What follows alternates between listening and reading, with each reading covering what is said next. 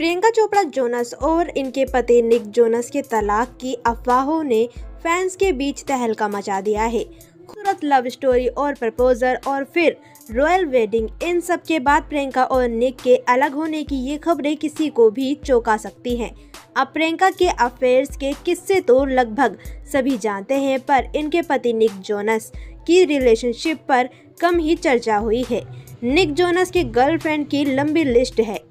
तो चलिए जानते हैं निक जोनस के अफेयर्स के बारे में। Number one Miley Cyrus Nick Jonas और सिंगर मिले सीरस ने साल 2006 में एक दूसरे को डेट करना शुरू कर दिया था।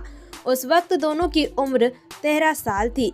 इनकी मुलाकात एक चैरिटी इवेंट में हुई थी। बचपन का यह प्यार ज़्यादा चला नहीं और दिसंबर 2007 में दोनों अलग हो गए थे।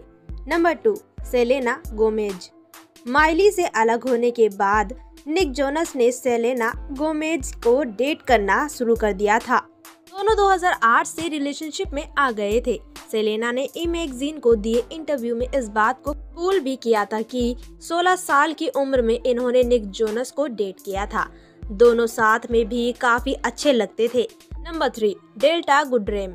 Selena से ब्रेकअप के कुछ साल बाद निक जोनस अपने से उम्र में बड़ी ऑस्ट्रेलियन सिंगर डेल्टा गुड्रेम के साथ रिलेशनशिप में आ गए थे। डेल्टा निक से उम्र में पूरे आठ साल बड़ी थी। दोनों का रिश्ता 10 महीने तक चला और फिर फरवरी 2012 में दोनों ने अपने रास्ते अलग कर लिए। Number four, Gigi Hadid. Nick का नाम टॉप मॉडल और निक के भाई जो जोनस की एक्स गर्लफ्रेंड गिगी हदीद के साथ भी चर्चा में रहा है। दरअसल गिगी और निक को 2012 और 2013 में कई दफ़ा डेट पर स्पोर्ट किया गया था। दोनों कुछ समय तक एक दूसरे के साथ रिलेशनशिप में रहे थे।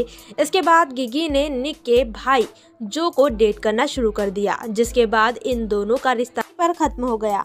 Number five, Lily Collins Nick Jonas ने मई 2019 में एक्ट्रेस लिली कॉलिंस संग अपने रिलेशन का खुलासा किया था। इन्होंने कहा था, हम एक बार बाहर गए हैं। वो काफ़ी अच्छे शख्स हैं।